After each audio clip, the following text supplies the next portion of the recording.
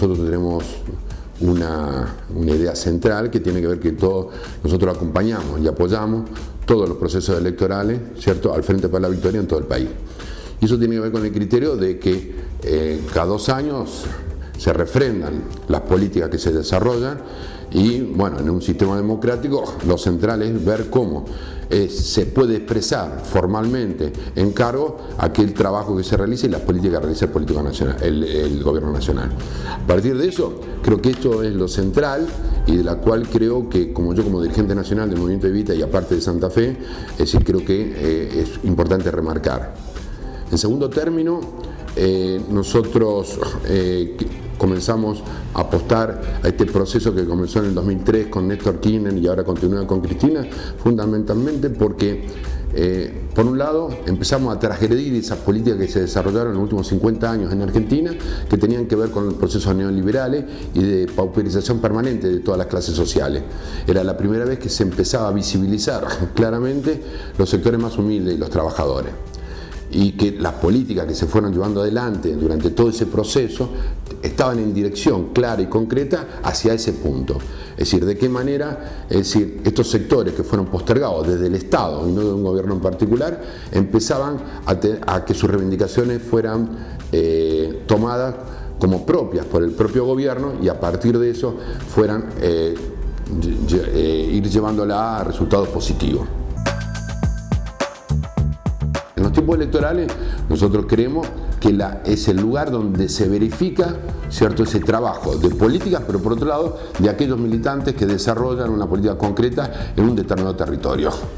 En este caso llegamos a Santa Fe, o en esta época de Santa Fe, donde de pronto, bueno, hay que hacer las, las listas para diputado nacional, en el caso ahora, y bueno, nosotros sobre este punto es que nosotros por un lado, eh, nosotros entendemos que la política hay que refundarla permanentemente. Nosotros entendíamos, ¿cierto?, la necesidad de que eh, haya algún actor que de pronto no haya sido consecuente durante, durante este periodo de 10 años con estas políticas que se llevan adelante. ¿Por qué? Porque para nosotros es más importante el proceso el proyecto político, eh, las definiciones y hacia dónde vamos que los individuos.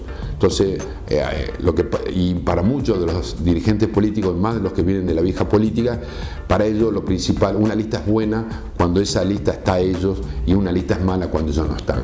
Para nosotros lo principal no es cómo se conforma la lista, sino qué proyecto vos defendés. Y en ese sentido, bueno, nosotros eh, llegamos a esta situación donde aceptamos, diríamos, eh, en esta nueva construcción y, de, integrar otra vez a sectores que hoy no, que no estaban, que era como el de Jorge Obey.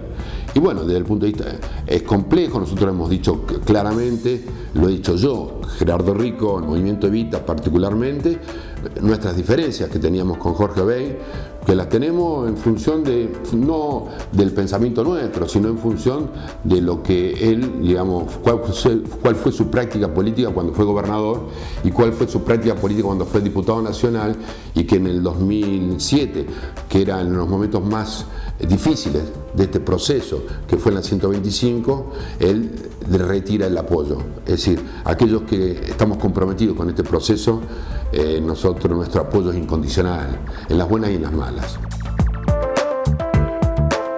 Otro de los elementos centrales que por lo menos eh, tenemos en cuenta nosotros es que nuestra formación de nuestros compañeros eh, tiene que ver centralmente a no aceptar el discurso único, a que permanentemente en su método de análisis sea crítico y autocrítico, porque creemos que eh, los chicos, ¿cierto? que se incorporan a la militancia, hay que darle la oportunidad que se expresen, hay que tener la oportunidad que, que tengan discrepancias, porque creo que eso es lo que le da la riqueza que le da a una organización política y a una idea política.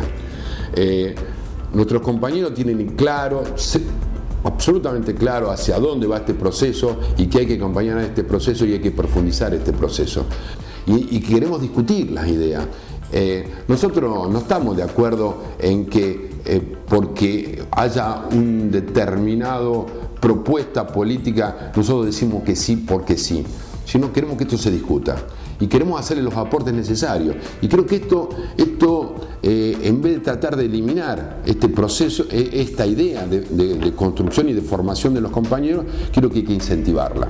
Y eso lo digo no únicamente ya por el Movimiento Vita, por el Frente para la Victoria, yo creo que es para todo el arco político.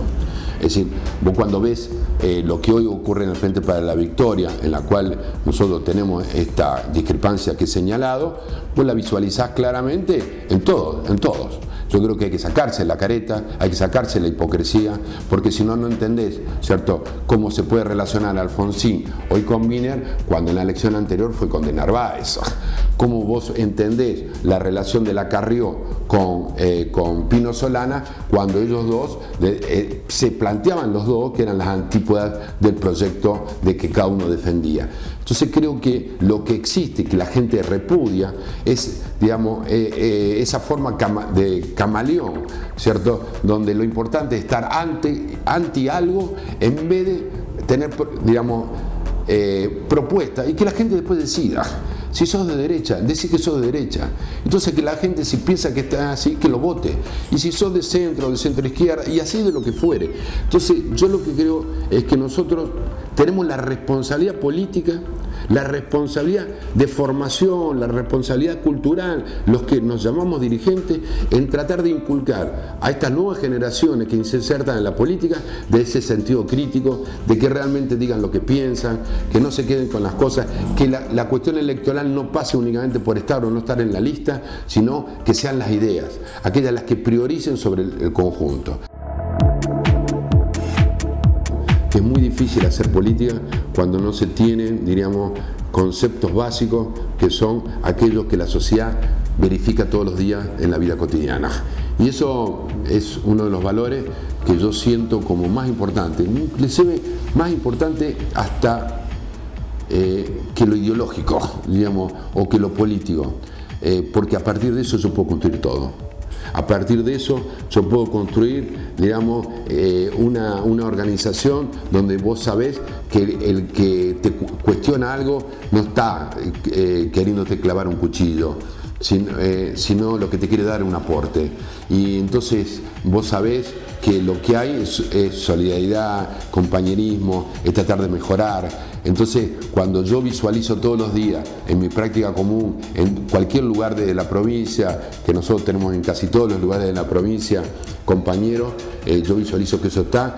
Eh, yo lo que puedo decir es que lo que yo tenía que hacer en este proceso de mi vida eh, lo estoy cumpliendo. Y ese sería el orgullo individual que tengo y de la cual me siento absolutamente feliz y, de pronto, y que esto a su vez se, vaya, se va retransmitiendo, porque otro de los valores es ese, que no, no queda en mí. Es decir, hoy esto que de pronto digo yo, lo están diciendo todos los compañeros, y que este es el valor central. Y eso es lo que yo le quiero decir a la ciudad de Rosario.